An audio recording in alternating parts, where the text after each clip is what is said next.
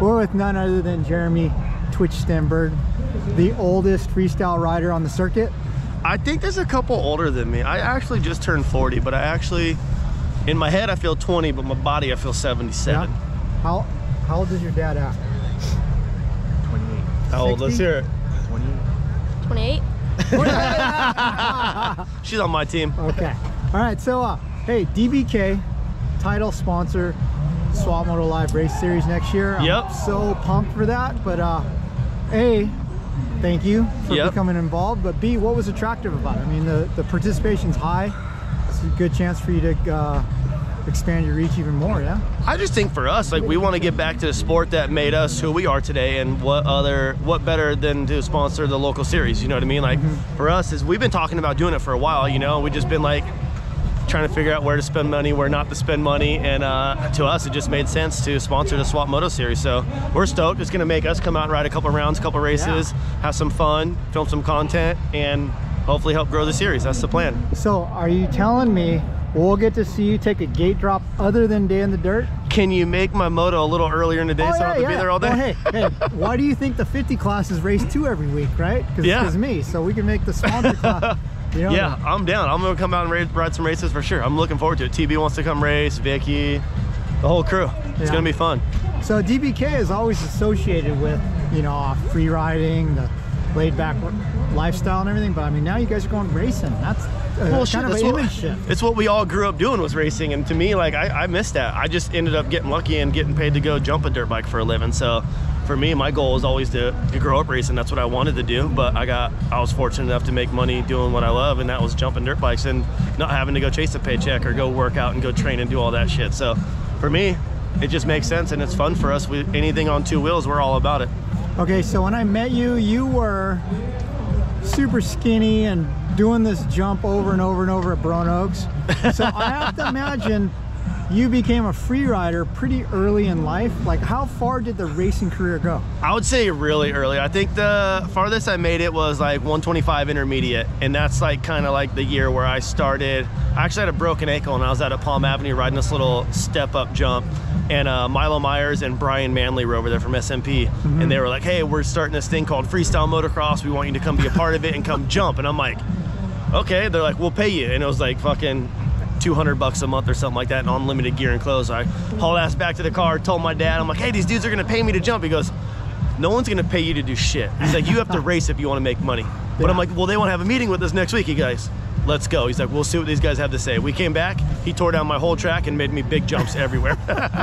Money talks. and right? uh, dude, that was the start of my freestyle motocross career right there. Shout out to uh, Brian Manley and Milo Myers for sure. Nice, nice. Um, man, it's, it's crazy to think we're starting this thing called freestyle motocross, right? Like, where was that first contest? Was that like, uh, I think the very Havasu first one was? Vegas, and then I missed that one because I was in the process of getting my deal done, and then I rode the next one, which was Lake Havasu, and that was a four-leaf event where I think I Pastrana to got fucked up really bad, where he did his pelvis and everything, trying to do like that 145 foot quad on a 125 yeah? in the wind. It's crazy. Not the smartest TP. I mean, you. I've been there as a photographer, media guy, and you've been there as a participant. yeah. How old do we feel right now?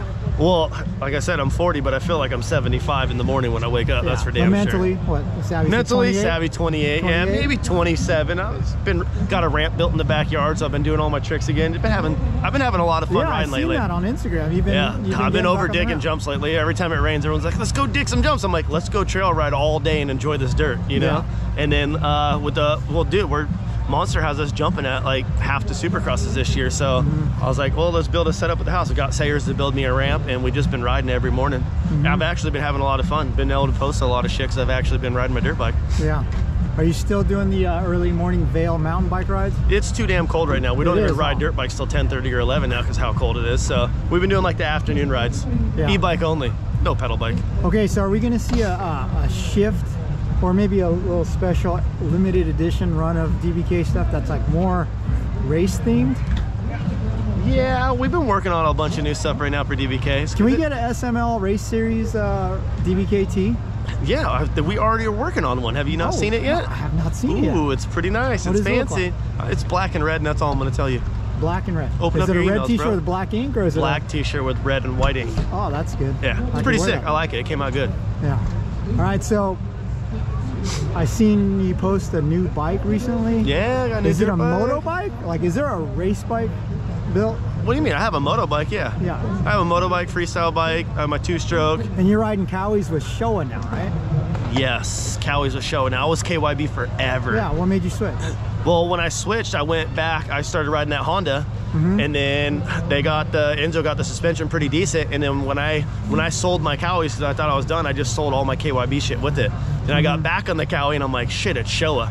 And always before the Showa to me always felt too plush. The the the KYB for like me for having like such stiff suspension, I really liked it. Mm-hmm. But now I got the Showa shit working really good, and I like it way better than I ever did my KYB. And I rode KYB for the last like eight nine years. Like the same set, right? You kept transferring. Oh yeah, I. I would just change lugs Yeah. every couple years. But yeah. Yeah. it was the same shit. It worked on all my cowies.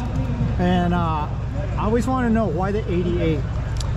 Well, when I was truck. racing off road, I wanted I was running number I was running no, I like the number eight how it looks, but I like two digits. Mm-hmm. Well, I actually like three digits, but racing trucks they wouldn't let me have three digits. Oh. So I picked 88 because I thought those two numbers looked dope together. And then the second year of my off-road career, the owners of Lucas Oil thought I was um, a white supremacist for running 88 on my on my truck, and I'm like, what the hell are you talking about? I'm Why, like, I just like a- is that like because it's it's I guess H is the eighth letter in the alphabet. Oh my god. I'm like, are you? I'm like, who the fuck put this much thought into this? I'm like, I run 88 because I like the numbers together. That's I like think they whether look people dope. say the Monster M is like some yeah, sort of something stupid thing. as hell. It's like Yeah. people have too much time on their on, online and on the internet. I was scared Hanson was coming up behind me to do something to me because I know he's over that direction. But uh, all right, well, uh, how early in the year will we see you lining up at a race? Probably I'm right excited off for the bat. Okay, so I think next the Sunday after Anaheim too. Yeah, I think so. And I, I think what we want to do is we want to try to come out and do a couple demos at uh, maybe like the last round of each series. Oh, that would be sick. Just do some fun shit. Nice. Do something for the kids. Something for the kids, like Something uh, for the kids. Anti-fee, What? anti-fee. Something sure. for the kids. Something for the kids. Nice, nice. So what about what about Savvy here? Is she gonna race the uh, the girls? Ah, I don't uh, know. 85 Savvy had a pretty pretty good crash on the 110 the other day. She's all skinned up on her knee and Oh, her yeah? elbow. What was the life lesson? Never wear shorts while I'm riding. Yeah, damn. Shorts. Hey, your parents can tell you all you want, but until you eat shit and you learn for yourself.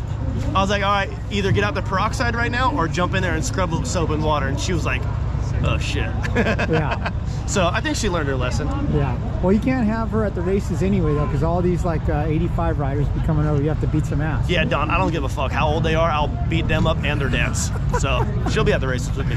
Nice.